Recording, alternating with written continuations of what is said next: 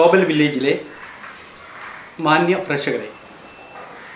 ഇന്ന് നമ്മൾ പരിചയപ്പെടുത്തുന്നത് ഗ്ലോബൽ വില്ലേജിന്റെ ജസ്റ്റിസ് നോ എന്ന പംക്തിയിൽ ഇന്ന് നമ്മൾ പരിചയപ്പെടുന്നത് തികച്ചും വ്യത്യസ്തമായ ഒരു വ്യക്തിത്വതയാണ് വ്യത്യസ്തമായ വഴികളിലൂടെ നീതിക്ക് വേണ്ടി ന്യായത്തിനു വേണ്ടി പോരാടിക്കൊണ്ടിരിക്കുന്ന ഒരു പടയാളി. അദ്ദേഹം by professionally he's a doctor Malappuram ജില്ലയിലെ വണ്ടൂരിലെ ഗവൺമെന്റ് ആശുപത്രിയിലെ ഡോക്ടർ കൂടിയായ ഡോക്ടർ റൌഫ് വണ്ടൂരിനെയാണ് നമ്മൾ പരിചയപ്പെടുന്നത്. റൌഫ് സാറിന്റെ പ്രത്യേകത തിരക്ക് പിടിച്ച ഔദ്യോഗിക ജീവിതത്തിനിടയിലും വീണ് കിട്ടുന്ന അപൂർവ നിമിഷങ്ങൾ പോലും സമൂഹത്തിനു വേണ്ടി ജനങ്ങൾക്ക് വേണ്ടി വിനിയോഗിക്കുന്നു എന്നുള്ളതാണ്. സാധാരണക്കാർക്കിടയിൽ ഇറങ്ങി ചെന്നുകൊണ്ട് അവരിൽ ഒരാളായിക്കൊണ്ട് ദന്തഗോപുരങ്ങളിൽ നിന്നും ഇറങ്ങി വന്നുകൊണ്ട് ജനങ്ങളിലേക്ക് ഇറങ്ങിത്തിരിക്കുകയായിരുന്നു ഈ ഡോക്ടർ. അദ്ദേഹം ഒരുപാട് ബോധവൽക്കരണ പരിപാടികൾക്ക് നേതൃത്വം കൊടുത്തു. അതുപോലെ തന്നെ അധികാരികളുടെ മുമ്പിൽ അധികാരികളുടെ കണ്ണു തുറപ്പിക്കാൻ വേണ്ടിയുള്ള ഒരുപാട് പ്രവർത്തനങ്ങൾക്ക് നേതൃത്വം കൊടുത്തു.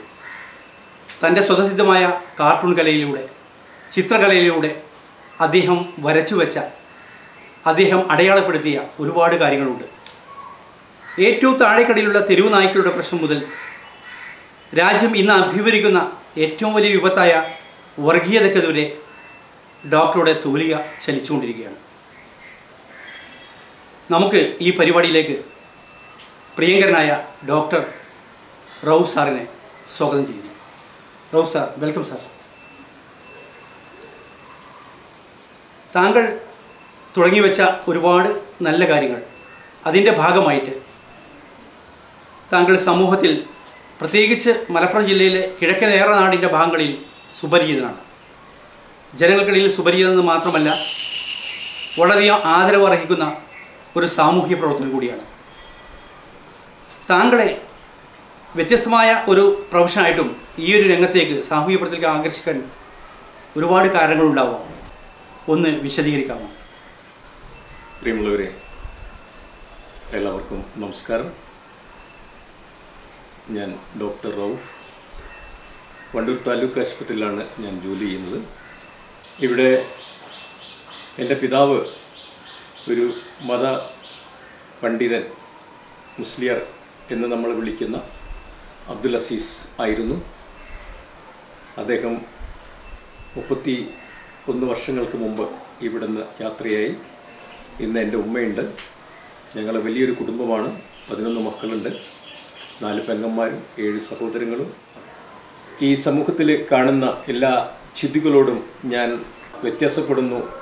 എനിക്ക് അതിനോടൊന്നും അതിനോടൊക്കെ എന്റെ വിയോജിപ്പ് ഞാൻ എന്റെ വരകളിലൂടെ.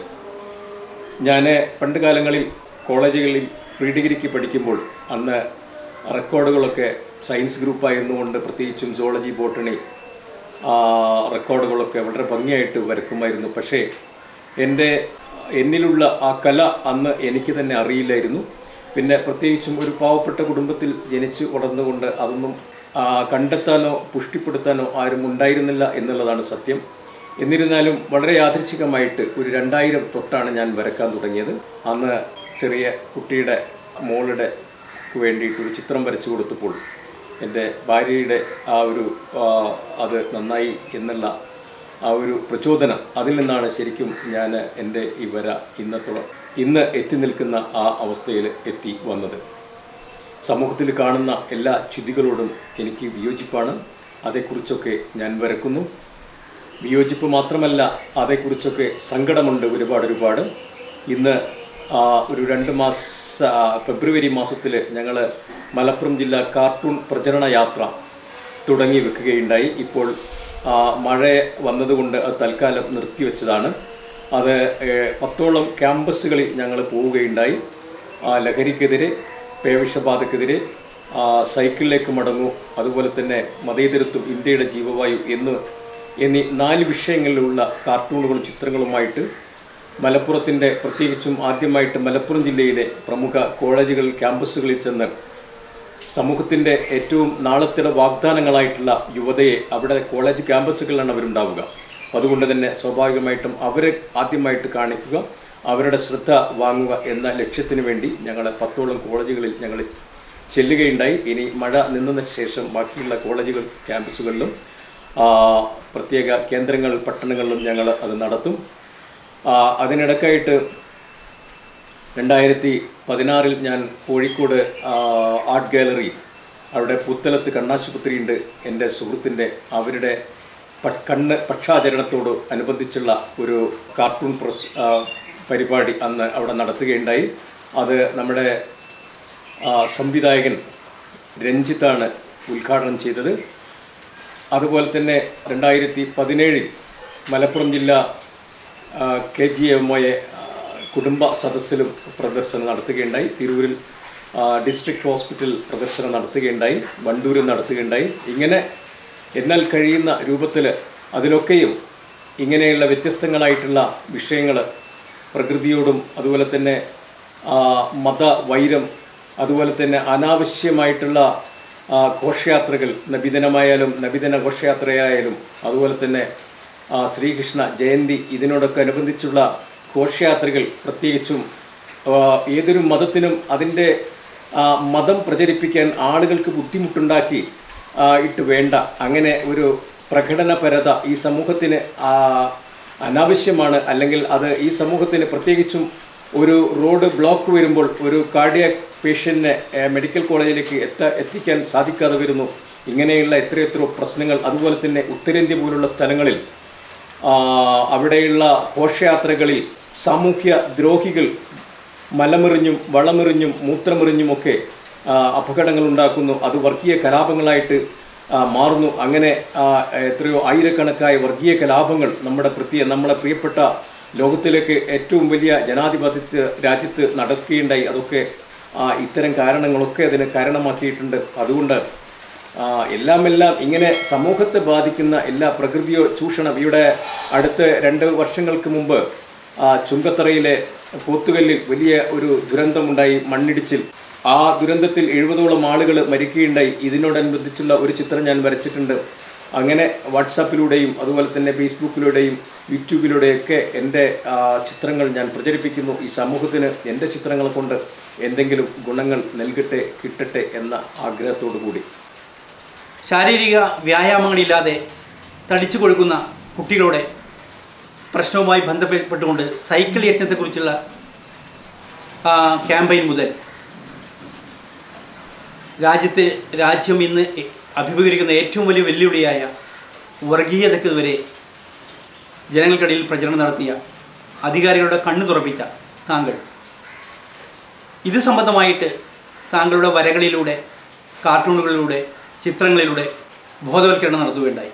ഇത്തരം ക്യാമ്പയിനുകളെക്കുറിച്ച് താങ്കൾ ഒന്ന് ചുരുക്കി നമ്മുടെ പ്രേക്ഷകർക്ക് വേണ്ടി വിശദീകരിക്കുക സമൂഹത്തിൽ കാണുന്ന എല്ലാ ചുതികളോടും വിയോജിക്കുക സ്വാഭാവികമായിട്ടും ഉണ്ടാകുന്ന ആ ഒരു എന്താ പറയുക നമ്മുടെ മനസ്സിനകത്തുള്ള ഒരു വേദന അനുഭവിച്ചുകൊണ്ടാണ് ഞാൻ എന്റെ വരകളൊക്കെ ചെയ്യാറുള്ളത്. ഇത് ഈ അടുത്തായിട്ട് ഒരു ഫെബ്രുവരി മാസത്തിൽ ഞങ്ങൾ ഞങ്ങളുടെ ഒരു മലപ്പുറം ജില്ലാ കാർട്ടൂൺ പ്രചരണ യാത്ര സംഘടിപ്പിക്കുകയുണ്ടായി. തുടക്കം അതിന് തുടക്കം കുറിക്കുകയുണ്ടായി. വണ്ടൂരിൽ വെച്ച് നമ്മുടെ മലപ്പുറം ജില്ല ഡി എം ഒ ആണ് അത് ഉദ്ഘാടനം ചെയ്തത്. അന്ന് നിലമ്പൂർ ആയിഷ പ്രമുഖ നടി മുഖ്യാതിഥിയായിരുന്നു. അങ്ങനെ തുടങ്ങി വെച്ച ആ കാർട്ടൂൺ പ്രചരണ യാത്ര അതിലെ ലഹരിക്കെതിരെ അതുപോലെ തന്നെ സൈക്കിളിലേക്ക് മടങ്ങൂ അതുപോലെ തന്നെ മതേതരത്വം ഇന്ത്യയുടെ ജീവവായു പേവിഷബാധയ്ക്കെതിരെ എന്നീ നാല് വിഷയങ്ങളിലൂന്നിയ ചിത്രങ്ങളുമായിട്ടാണ് ആ ഒരു പ്രചരണ യാത്ര നടത്തിക്കൊണ്ടിരിക്കുന്നത്. അത് മഴയായിട്ട് താൽക്കാലികമായിട്ട് നിർത്തിവെച്ചതാണ്. മഴ നിന്ന് കഴിഞ്ഞാൽ അത് വീണ്ടും ഞങ്ങൾ തുടങ്ങും. പ്രത്യേകിച്ചും നമ്മുടെ സമൂഹത്തിലെ യുവതയാണ് നാളെയുടെ ഈ രാജ്യത്തിന്റെ വാഗ്ദാനങ്ങൾ. അപ്പോൾ അതുകൊണ്ട് തന്നെ അവരെ ഇത്തരം കാര്യങ്ങൾ ബോധിപ്പിക്കുക ബോധ്യപ്പെടുത്തുക ഇത്തരം അനീതികളെക്കെതിരെ അവരുടെ നിങ്ങൾ കൂടി ശബ്ദമുയർത്തണം എന്ന് അവരെ ബോധ്യപ്പെടുത്താൻ കൂടിയാണ് ക്യാമ്പസുകളെ ഉദ്ദേശിച്ചുകൊണ്ട് ഞങ്ങൾ നടക്കുന്നത്. അതിനുമപ്പുറത്ത് അതിന് മുപ്പുറത്ത് രണ്ടായിരത്തി പതിനേഴിൽ ഞങ്ങൾ വണ്ടൂര് ഒരു നൂറ്റി അമ്പത് ഇരുന്നൂറോളം സൈക്ലിസ്റ്റുകളെ ഉൾക്കൊള്ളിച്ചുകൊണ്ട് വണ്ടൂർ അങ്ങാടി ചുറ്റി ഞങ്ങൾ ഒരു വലിയൊരു സൈക്കിൾ പ്രചരണ യാത്ര നടത്തുകയുണ്ടായി. അത് പ്രത്യേകിച്ചും ആളുകളെ സൈക്കിളിലേക്ക് ആകർഷിക്കുക അതിന് ആളുകളുടെ ജീവിതശൈലി രോഗങ്ങൾ കുറയ്ക്കുവാനും അതുപോലെ തന്നെ ഇന്ന് കാണുന്ന ഏറ്റവും വലിയ വാഹനാപകട മരണങ്ങൾ നടക്കുന്നത് ബൈക്ക് ആക്സിഡന്റുകളിലാണ്. അപ്പം അതുകൊണ്ട് ഒരു പ്രദേശത്ത് ഒരു നൂറ് മോട്ടോർ ബൈക്കുകളുണ്ടെങ്കിൽ പത്ത് സൈക്ലിസ്റ്റുകളെങ്കിലും അവിടെ രൂപം കൊള്ളുകയാണെങ്കിൽ അത്രയും തിരക്കും സാന്ദ്രതയും റോഡുകളിൽ കുറയും അങ്ങനെ അപകടങ്ങൾ കുറയും. അതിനു വേണ്ടിയിട്ട് ഈ ജനങ്ങളെ സൈക്കിളിലേക്ക് ആകർഷിക്കുക എന്നതായിരുന്നു ഞങ്ങളുടെ ലക്ഷ്യം. താങ്കൾ ഒരുപാട് ക്യാമ്പയിനുകൾക്ക് നേതൃത്വം നൽകി. ഇത്തരം ക്യാമ്പയിനുകളിൽ താങ്കൾ തന്നെ ജനങ്ങളോടുമായി നേരിട്ട് സംവദിക്കാറുണ്ട് സംസാരിക്കാറുണ്ട് പ്രസംഗിക്കാറുണ്ട്. പൊതുവെ താങ്കൾ നടത്തിയ ക്യാമ്പയിനുകളിൽ കിട്ടുന്നൊരു ഫീഡ്ബാക്ക് താങ്കൾ ജനങ്ങളുടെ പ്രതികരണം എന്ത് എന്തായിരുന്നു എന്ന് വിശദീകരിക്കാമോ? ജനങ്ങളുടെ പ്രതികരണം വളരെ ആശാവഹമാണ്.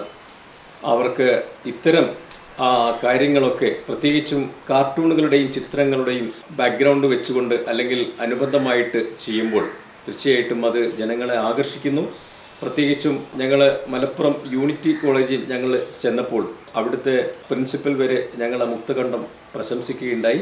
അതുപോലെ തന്നെ ഇവിടെ കരുവാരകുണ്ട് കോളേജ് അങ്ങനെ പല കോളേജുകളിൽ നിന്നും ഞങ്ങൾക്ക് വളരെ നല്ല അഭിപ്രായങ്ങളാണ് കിട്ടിയത്. കാരണം ആളുകളെ കുട്ടികളെ പ്രത്യേകിച്ചും ആകർഷിക്കുന്ന ചിത്രങ്ങളുടെയും കാർട്ടൂണുകളുടെയും ആകുമ്പോൾ അത് അവർക്ക് മനസ്സിലാക്കിയെടുക്കാൻ വളരെ എളുപ്പമുണ്ട്. അവർ ആകർഷിക്കപ്പെടും എന്ന് തന്നെയാണ് അവരുടെയൊക്കെ അഭിപ്രായം. അപ്പോൾ അതുമാത്രമല്ല ഞങ്ങൾ നിലമ്പൂർ പോലുള്ള സ്ഥലങ്ങളിൽ വണ്ടൂർ സ്ഥല ഇവിടങ്ങളൊക്കെ ഞങ്ങൾ നടത്തി. അവിടെയൊക്കെ ആളുകളുടെ അഭിപ്രായം ഏറ്റവും നല്ല അഭിപ്രായ അഭിപ്രായമാണ് ഞങ്ങൾക്ക് കിട്ടിയിട്ടുള്ളത്. താങ്കൾ അതുപോലെ തന്നെ ചില പ്രമുഖരുടെ ചിത്രങ്ങൾ വരച്ചുകൊണ്ട് അവർക്ക് സമ്മാനമായി നൽകുകയും ആ പ്രസ്തുത ചടങ്ങുകളുടെ സദസ്സിൽ വമ്പിച്ച പ്രതികരണങ്ങൾ ഉണ്ടാക്കിയതായി കേട്ടിട്ടുണ്ട്.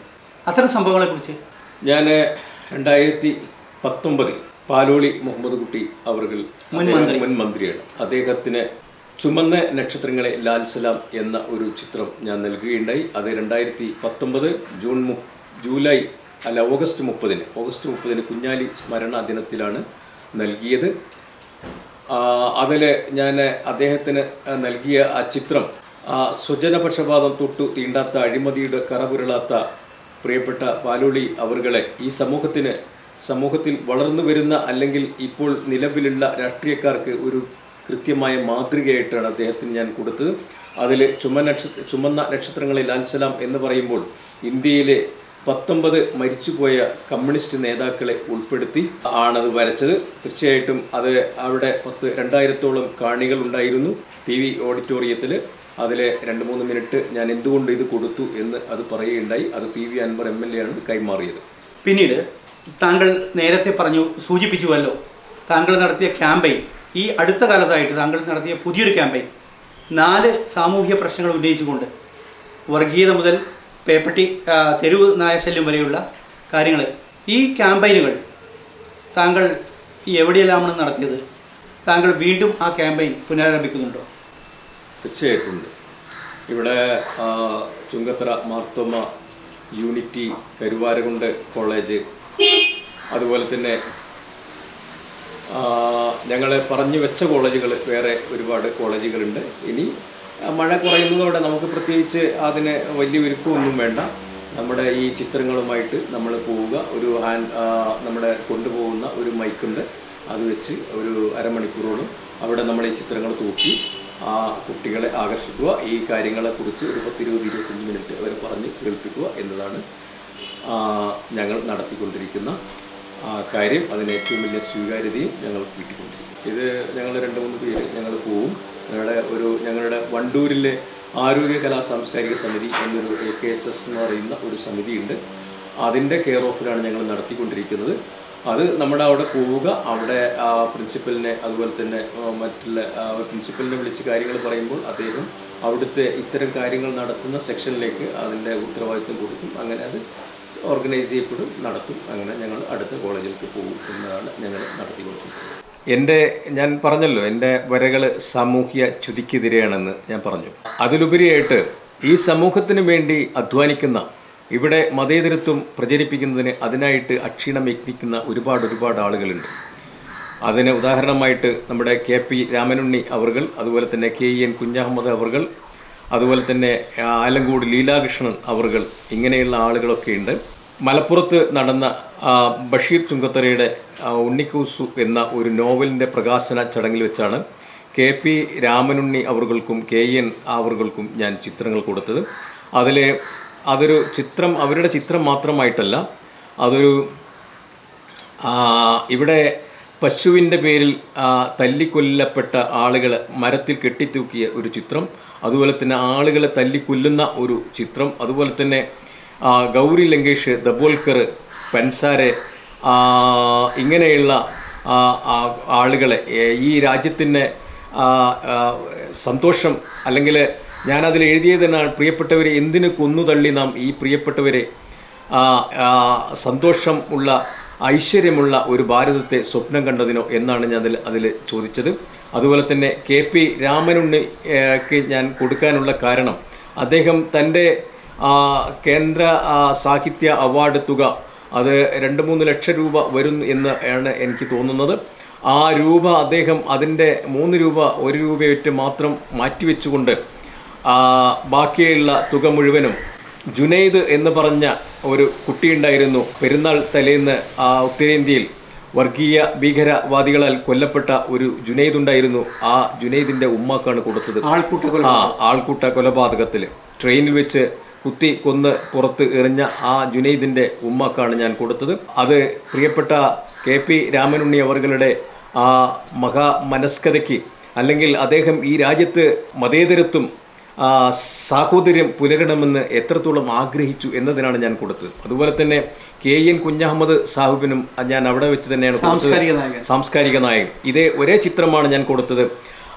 അതിലെ അവരുടെ വ്യത്യസ്ത അവരുടേതായിട്ടുള്ള ചിത്രങ്ങൾ മാത്രം മാറ്റി കൊടുത്തതാണ്. അപ്പോൾ കെ എൻ കുഞ്ഞഹമ്മദ് സാബും അദ്ദേഹവും ഈ കാലം അത്രയും ഇവിടെ മതേതരത്വവും സ്നേഹവും പരക്കണമെന്ന് അതിനു വേണ്ടിയിട്ട് അക്ഷീണം യത്നിച്ചു കൊണ്ടിരിക്കുന്ന ഒരു മകൾ വ്യക്തിയാണ്. അതുകൊണ്ട് കൂടിയാണ് അദ്ദേഹത്തിന് ഞാൻ കൊടുത്തത്. അതുപോലെ തന്നെ ഞാൻ രാഹുൽ ഗാന്ധിക്ക് വേണ്ടി കൊടുക്കുവാനുള്ള ഒരു ചിത്രം തയ്യാറാക്കിയിട്ടുണ്ട്. പ്രിയപ്പെട്ടവരെ നമുക്ക് ഹിന്ദുവാകാം മുസൽമാനാകാം സിഖും പാർസിയുമാകാം എല്ലാമാകാം എങ്കിലും സ്നേഹമായിരിക്കട്ടെ നമ്മുടെ ഒന്നാമത്തെ മതം എന്ന ഒരു ചിത്രമാണ് രാഹുൽജിക്ക് കൊടുക്കുവാൻ വേണ്ടി ഞാൻ തയ്യാർ ചെയ്തിട്ടുള്ളത്. എന്നെ സംബന്ധിച്ച് എന്റെ രാഷ്ട്രീയം സ്നേഹത്തിന്റെ രാഷ്ട്രീയമാണ്. അതുകൊണ്ടാണ് എനിക്ക് പ്രിയപ്പെട്ട പാലോളിക്കും അതുപോലെ തന്നെ രാഹുൽ ഗാന്ധിക്കും ഒരേ സമയത്ത് ഇത് കൊടുക്കുവാൻ സാധിക്കുന്നത്. അടുത്തതായി എനിക്ക് താങ്കളോട് ചോദിക്കാനുള്ളത്.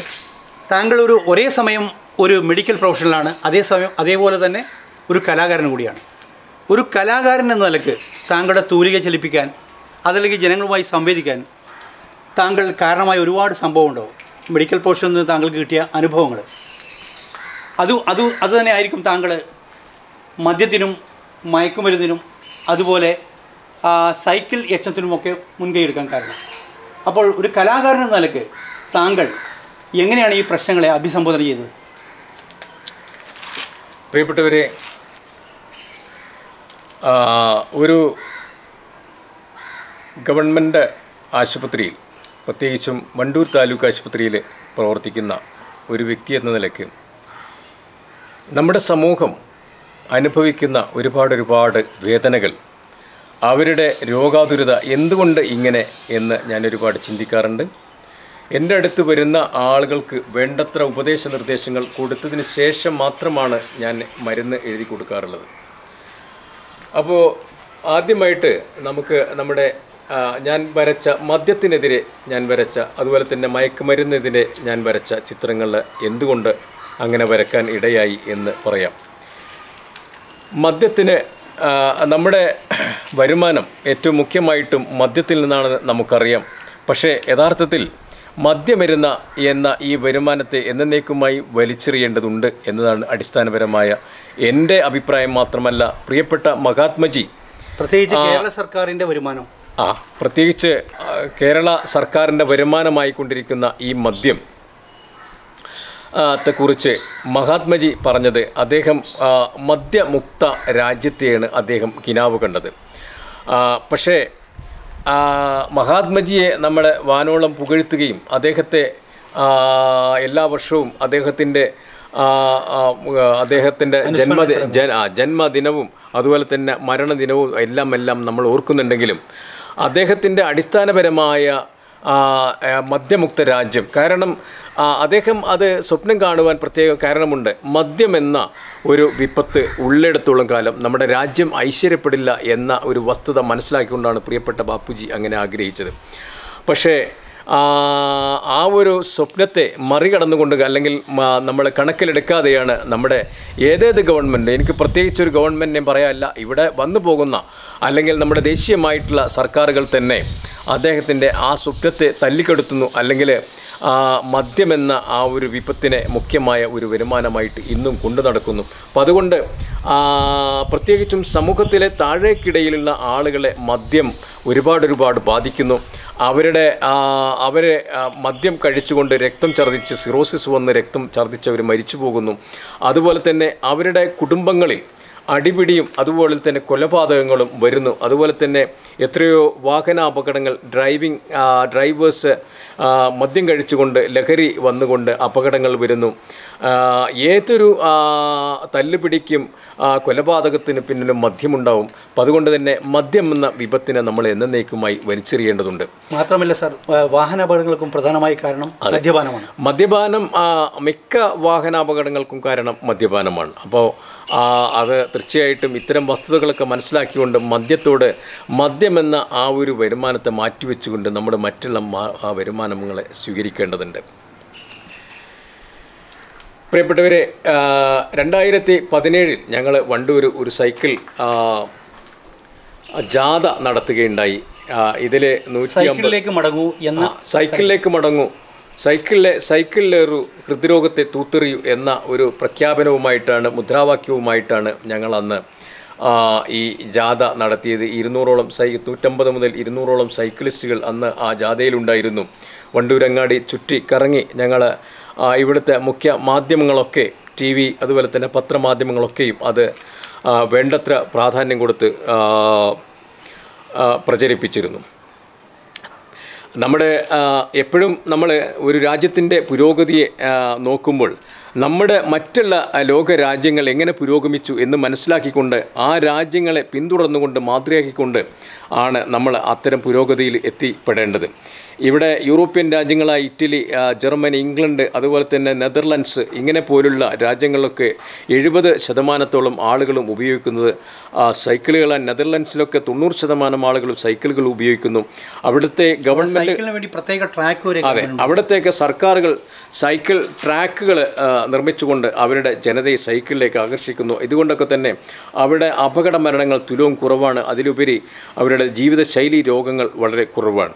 അപ്പം അതുകൊണ്ട് അത്തരം ആളുകൾ അത്തരം സർക്കാരുകളെ രാജ്യങ്ങളെ പിന്തുടർന്നുകൊണ്ട് മാതൃകയാക്കിക്കൊണ്ട് നമ്മളും നമ്മുടെ സർക്കാരുകളും നമ്മുടെ ജനതയ്ക്കായിട്ട് സൈക്കിൾ പാതകളൊക്കെ നിർമ്മിച്ചുകൊണ്ട് ഇവിടുത്തെ ആളുകളെ സൈക്കിളിലേക്ക് ആകർഷിച്ച് ഇങ്ങനെയുള്ള അപകട മരണങ്ങളും അതുപോലെ തന്നെ ജീവിത ശൈലിക രോഗങ്ങളൊക്കെ കുറയ്ക്കേണ്ടതുണ്ട് എന്നതാണ് എന്റെ പക്ഷം. ഇത് ഒരു ഡോക്ടറായതുകൊണ്ട് കൂടിയാണ് ഇത്തരം കാര്യങ്ങൾ മനസ്സിലാക്കിക്കൊണ്ട് ഇത്തരം വരകൾ ചെയ്തുകൊണ്ട് ഇങ്ങനെയുള്ള പരിപാടികളൊക്കെ സംഘടിപ്പിക്കുവാൻ എന്നെ പ്രേരിപ്പിക്കുന്നത്.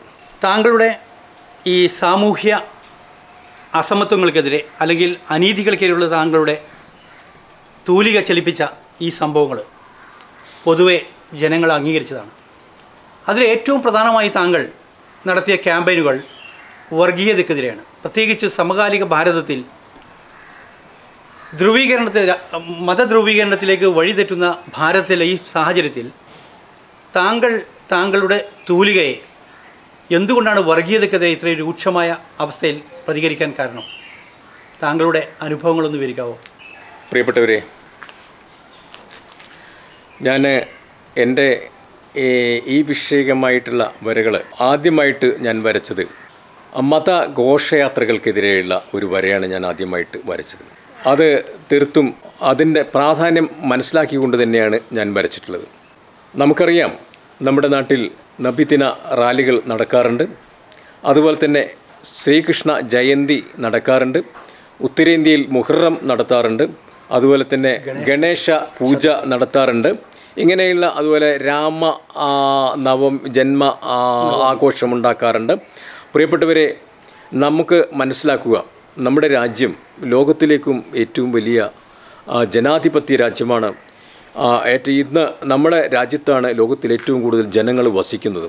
അപ്പം അതുകൊണ്ട് തന്നെ ഒരുപക്ഷെ ചൈന ഇന്ന് എത്തി നിൽക്കുന്ന ആ ഒരു ഉത്തുംഗതയുടെ അപ്പുറത്ത് നമുക്ക് എത്താമായിരുന്നു. പക്ഷേ വളരെ ദൗർഭാഗ്യകരമായിട്ട് സ്വാതന്ത്ര്യ ഭാരതത്തിന് സ്വാതന്ത്ര്യാനന്ദ ഭാരതത്തിൽ ആയിരക്കണക്കായ വർഗീയ കലാപങ്ങളാണ് ഇവിടെ നടമാടിയിട്ടുള്ളത്. അത് ഈ വർഗീയ കലാപങ്ങളിലൊക്കെ ആയിരക്കണക്കായ മനുഷ്യർ ഹിന്ദുവും മുസൽമാനും സിഖും പാർസിയും ഒക്കെ എല്ലാവരും എല്ലാവരും മരിച്ചിട്ടുണ്ട്. അതിലുപരിയായിട്ട് കോടാന കോടി രൂപയുടെ സമ്പത്ത് നമ്മുടെ രാജ്യത്ത് കത്തിയെരിഞ്ഞിട്ടുണ്ട്. പ്രിയപ്പെട്ടവരെ നമ്മൾ ഒരു വസ്തുത മനസ്സിലാക്കുക.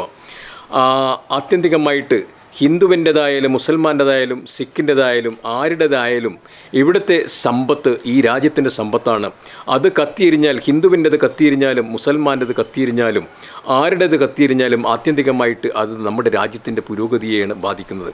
ഇങ്ങനെ ഉള്ള വർഗ ആയിരക്കണക്കായ വർഗീയ കലാപങ്ങളിൽ വീടുകൾ നഷ്ടപ്പെട്ട സംഘടന സമ്പത്ത് നഷ്ടപ്പെട്ട ആയിരങ്ങളാണ് ഇത്തരം ചേരികളിലും മരത്തെ മരങ്ങൾക്കടിയിലും പ്ലാറ്റ്ഫോം റെയിൽവേ പ്ലാറ്റ്ഫോമുകളിലൊക്കെ അന്തിയുറങ്ങുന്നത്. അപ്പം അതുകൊണ്ട് ഇത്തരം വർഗീയ കലാപങ്ങൾ ആത്യന്തികമായിട്ട് നമ്മുടെ രാജ്യത്തെ അതിന്റെ ശക്തി അതിന്റെ ഐശ്വര്യത്തെ ചോർത്തിക്കളയുകയാണ് ചെയ്യുക. ഇതിനപ്പുറത്തായിട്ട് ഈയിടെയായിട്ട് നമ്മുടെ രാജ്യത്ത് പിടികിടി കൂടിയിരിക്കുന്ന വലിയൊരു മഹത്തായ വലിയൊരു അപകടമുണ്ട്.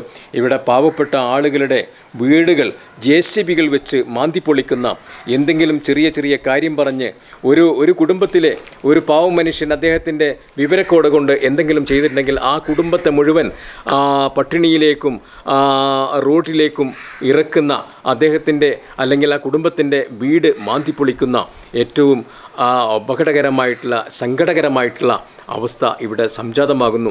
ഇതൊക്കെയും നമ്മുടെ രാജ്യത്തിന്റെ പട്ടിണിയിലേക്കും അതിന്റെ പ്രാരാബ്ധത്തിലേക്കും അതിന്റെ ആഴക്കയ കയങ്ങളിലേക്ക് തള്ളിവിടുകയാണ് ചെയ്യുക. പ്രിയപ്പെട്ടവരെ അതുകൊണ്ട് കൂടിയാണ് ഇത്തരം ചിത്രങ്ങൾ ഞാൻ വരക്കുവാൻ ഇട എന്നെ ഇടയാക്കിയത്. ഡോക്ടർ റൌഫ് സാർ നമ്മൾ ഈ പരിപാടി ഇവിടെ അവസാനിക്കുകയാണ്. കിഴക്കൻ ഏറനാട്ടിലെ കലാകാരന്മാരുമായുള്ള ബന്ധവും വളരെ പ്രശസ്തമാണ്. കേരളത്തിൽ വ്യവസ്ഥാപിത സമ്പ്രദായങ്ങൾക്കെതിരെ ആദ്യമായി മുസ്ലിം സമുദായത്തിൽ നിന്നും അഭിനയ രംഗത്തേക്ക് കടന്നു വന്ന നിലമ്പൂർ ആയിഷ തുടങ്ങിയ കലാകാരന്മാർ താങ്കളുടെ സൗഹൃദ വലയത്തിൽ ഉൾപ്പെടുന്നു. ഏതായാലും താങ്കളെപ്പോലുള്ള ഒരു വ്യക്തി നമുക്ക് അതിഥിയായി വന്നതിൽ ഞങ്ങൾക്ക് വളരെ സന്തോഷമുണ്ട്. വീണ്ടും ഞങ്ങളോടൊപ്പം ഉണ്ടായിരിക്കുമെന്ന പ്രതീക്ഷയോടെ നമുക്കിവിടെ അവസാനിപ്പിക്കാൻ thank you. Thank you thank you മനുഷ്യൻ മനുഷ്യനെ സ്നേഹിച്ചു നോക്ക്. മനസ്സിനകത്തൊരു പള്ളിയുണ്ടാക്ക് അതിലേത് ജാതിക്കും കേറാമെന്നാക്ക്. അതിവേഗം നിസ്കാര പായ വിരിക്ക് അതിലേത് ജാതിക്കും കേറാമെന്നാക്ക്. അതിവേഗം നിസ്കാര പായ വിരിക്ക് പടപ്പ് പാടപ്പോട് പിരിശത്തിൽ നിന്നോളി. പടച്ചോന്റെ കാരുണ്യം കിട്ടുന്നത് കണ്ടു.